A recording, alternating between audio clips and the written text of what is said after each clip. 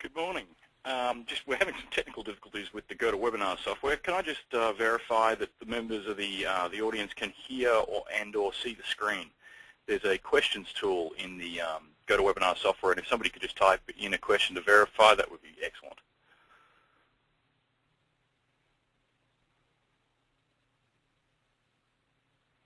Great. Okay. It Looks like we have uh, successfully connected. Excellent. The uh, the software is telling us that we're not connected. All right. Uh, well, good morning and sorry for the delay. Um, my name's Ken Shaw. I'm the CEO of SOS, and uh, we'll we'll dive right in because we're we're running a little bit behind schedule.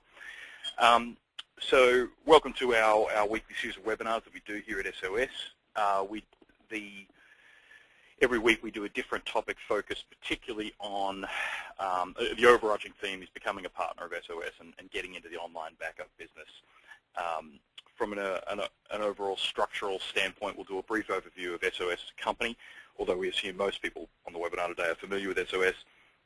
We'll then turn and look at the traditional backup and DR industry as, it has existed, the moves to online backup underway across the industry, and then uh, particularly we'll look at the SOS technology stack, and then how you can leverage that technology stack and take advantage of the market shifts underway to get a business and launch your own branded online backup service. So the intended audience for today is either existing SOS partners or prospective partners, people thinking about becoming an SOS partner. Um, we'll have a, Q, a dedicated Q&A section at the end of the webinar. But uh, what we found is the best way for everybody to get the most out of this is to actually use the questions tool and GoToWebinar and ask questions straight away. It's one of the great things about this platform is that uh, you can interrupt me at any time with a question. Um, and I'll do my best to answer those as we go. And if I miss any, I'll, I'll answer them in the, the Q&A at the end. Um, then there'll also be the Kindle giveaway that we do every week, and we'll be announcing the details of the Kindle giveaway at the end of the webinar.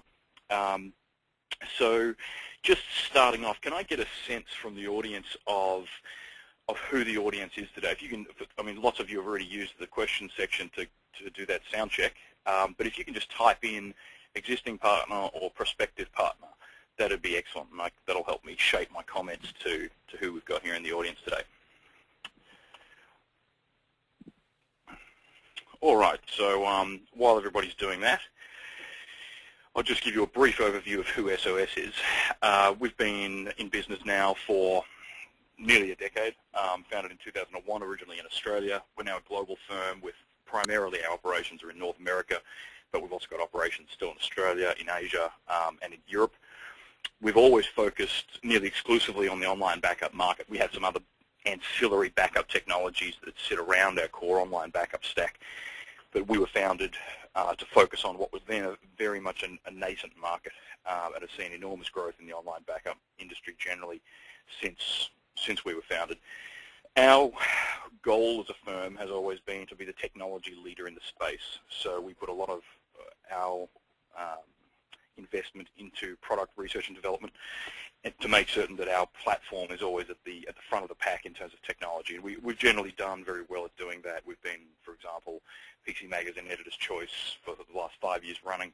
Um, we win a lot of awards in the consumer and SMB space for our technology. But uh, what makes us unique, really, is our focus on, on the channel and on partners.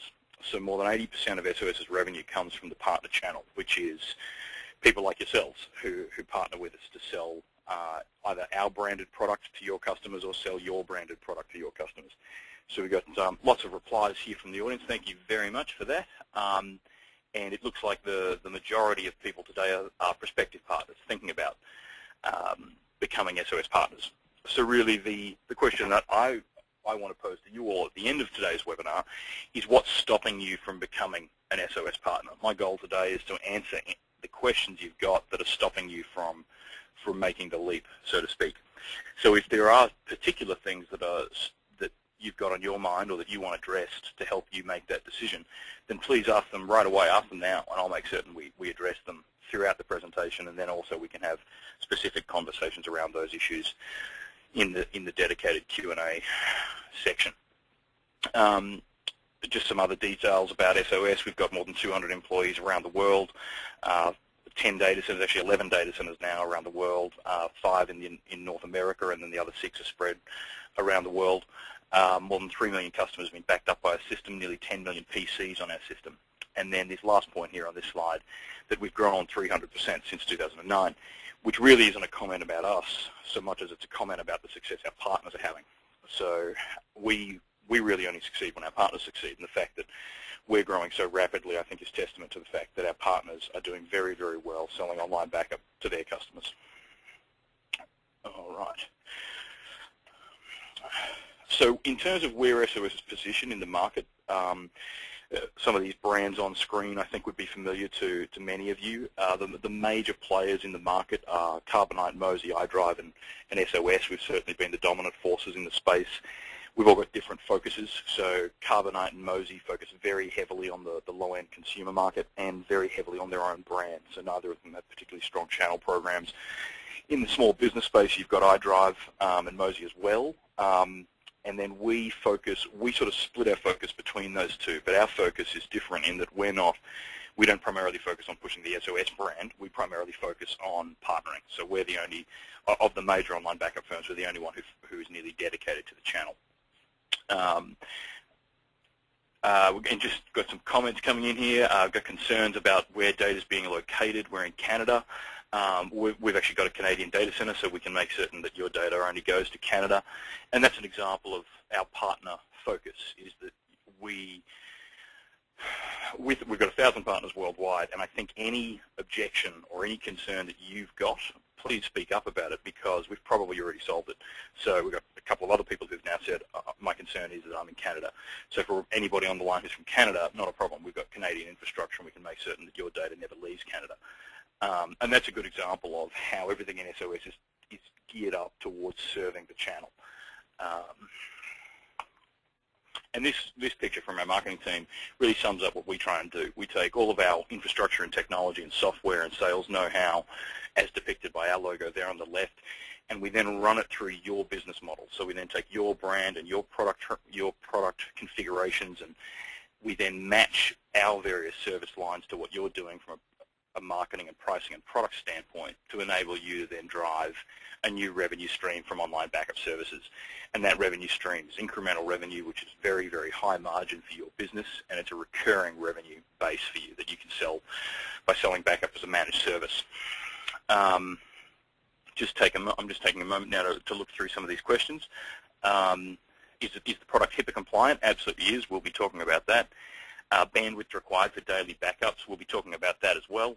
Um, will the webinar be available? Yes, it will. You'll get an email linking to the video of the webinar, and there'll be a transcript. Or you can always visit our webinar archives page to get access to that.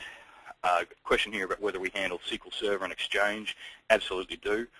Um, uh, pricing. We're going to be talking about pricing. Uh, are you business only or can residential users use this too? Um, from a partner standpoint, we've got a lot of a lot of partners who serve the residential market, and we've got a lot of partners who serve the business market, but most of our partners do both. So we've absolutely got a home user product and a business product, and our partners will generally sell to both. Okay. And then here on the screen is an example of some of the white labeling we do. So down the bottom left, you've got uh, an image of one of the one of SOS's technologies. It's our vulnerability scanner, which can be fully white labeled. And then you've got some other pieces here. So, for example, there's a, a product sheet in the middle, and that's been reskinned for one of our partners, and then a couple of versions of, of our software that have been completely white labeled for partners. So it gives you a sense of, of how extensive our labeling, our white labeling system is and how we can brand the product and that marketing collateral and the sales efforts to you and your business. We're going to see a lot more about that later in the, in the presentation. All right, so looking at the markets that um, customers serve, this is actually a good time for another question from me back to the audience.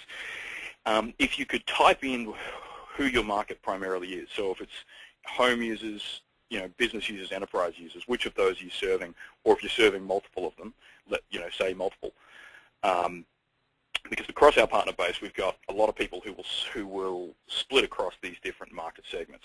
Okay, we've got a lot of people coming in saying that they're serving the small business market and the corporate market. Do we have anybody serving the home market or the, the, the consumer market? Okay, it seems the bulk of the people making comments are uh, small business. Okay. And so it, it's interesting when you look at these three market segments because you've got very different technology in place in all three, and you've got very different sales approaches that need to be adopted in all three. In the consumer market, it's generally a backup void that, you, that we're selling into. There is not a one accepted standard for consumer backup. Uh, a lot of market research indicates that fewer than 10% of consumers actually back up regularly. Um, so generally in the consumer space, it's about getting consumers to overcome that inaction that they've already been engaged in and actually adopting a backup solution. In the small business space, it's usually a technology replacement sale. So in the SMB space, tape backup is still by far the most predominant technology in use. Um, disk has emerged in the last five years as a significant competitor to tape, and we refer to both disk and tape as hardware-based backup or centrally architected hardware-based backup. And we make that um, we categorize them similarly because they're both plagued by the same problems. Tape's got more problems than disk, but there's still a lot of problems with disk, and we're going to look at how online backup overcomes them. Um, in the in both the SMB space and the enterprise space, you've got a three-part approach to backup. There's usually a very expensive piece of hardware, usually then some software that's specifically designed to run with that hardware, and then a very heavy labor labor component. What do I mean by that labor component? I'm talking about the human effort and energy and services that go into deploying a backup, setting it up, configuring it, running it, rotating media off-site, verifying that the media hasn't deteriorated or verifying that recovery can occur off the media in the instance where a recovery is needed, the labor that goes into getting the tapes from the archive, bringing them on site, doing a full recovery, then applying the incremental recoveries. It's um, a very, very difficult technology landscape um, and extremely labor intensive. So with online backup, what we find is quite the opposite. You've got a cloud-based solution that's fully software as a service. You deploy it, you set it up. That's all you've got to worry about. So that the labor component with online backup is dramatically lower. And so is the software and the hardware component. We're going to look at that. Now, all of those constituent components are still there. They've just been wrapped up into one service that you can offer to your customers under your brand or under the SOS brand if that's what you prefer. Um, we're seeing a pretty steep decline in tape and hardware-based backup in general. So uh, if we look at the statistics for tape sales in North America, we've seen an absolute collapse of that market, reduced from 2.3 billion two years ago to just under 1.4 billion this year. So if that trend is to continue, then we're going to see tape backup recede into being a legacy technology pretty quickly. And then what's replacing it? Well, uh, the numbers seem to indicate that cloud-based backup is what's replacing it. So according to a recent survey by CTO Edge magazine, more than 70% of the CTOs and CIOs who were surveyed said that they intend to shift some or all of their backup load to cloud-based backup. And so that actually uh, is a good segue to a quote that we, that one of our partners, um, a comment that one of our partners made that we often quote and that was if we don't sell our customers cloud-based backup, somebody else will, so why not us? So that's really the challenge that I pose to everybody on the line today. Um, my assertion is that if you're not selling online backup to your customers, somebody else definitely is going to be. So this is not a choice of whether or not your customers will use online backup. That's an almost certain, almost a certainty. The real question is whether or not you'll be the person who's selling it to them. So again, coming back to what I want to understand is what can I do to help uh, you make the decision to get into the market, take advantage of that opportunity, and make certain that your competitors don't take your customers by selling them online backup before you do. Um, and before I turn to this, uh, this total cost of ownership comparison, I just want to spin through some of the questions we've got here. Uh, the, the, vast bulk of people who comment